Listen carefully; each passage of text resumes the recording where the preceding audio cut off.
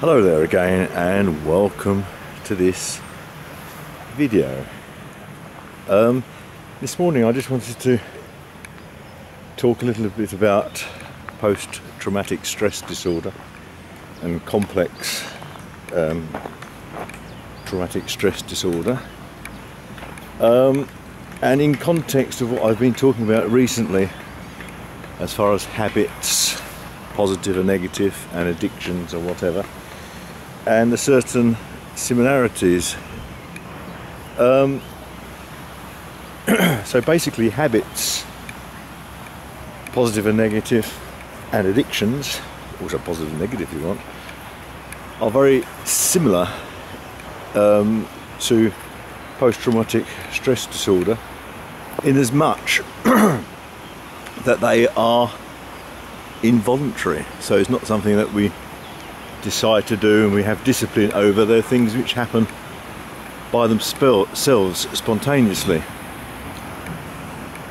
And so I would suggest here that in dealing with post traumatic stress disorder, it could also be thought to um, approach it in a similar way. And so so going back to what I was talking about a little while ago with James Clear, atomic habits and all that sort of thing, and how to um, start doing new habits and perhaps getting rid of old bad habits. The thing he talks about a lot is the triggers, and so recognizing triggers. So if you so if you want to start doing something, a positive habit, for example, a good way of doing this is to recognize a trigger that you already have and then to insert either immediately before or after the new habit that you want to do. Okay, so this could be something like so if you if you want to think about switching the lights off or locking the door when you start to go out, you would uh, make yourself a trigger that you deliberately, purposefully um, make a new habit of switching lights out and locking the doors in such a way that very quickly it will become a habit because you're using the trigger of going out to, to do something.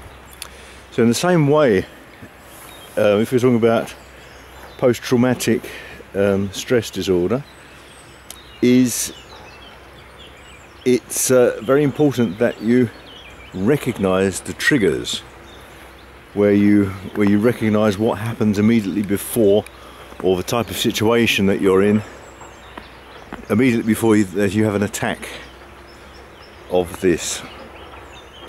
And so what you would then have to do is recognize you have to recognize what happens before and the situations that you're in before you have an attack, and then insert a new behavior. So the behavior would have to be something you have to know yourself and you have to recognize what is a good behavior for you. So I would I would argue that uh, certainly things like um, EMDR, eye movement desensitization reprogramming. So this is very, very good for trauma and things like that, but also meditation or whatever. Or alternatively, knowing yourself, positive um, behavior, which um, which involves you totally. And so when you enter into a moment that is a potential trigger for you to force yourself to deliberately take on a new habit before the attack. Okay? We'll do this later. Okay. Take care. Bye bye.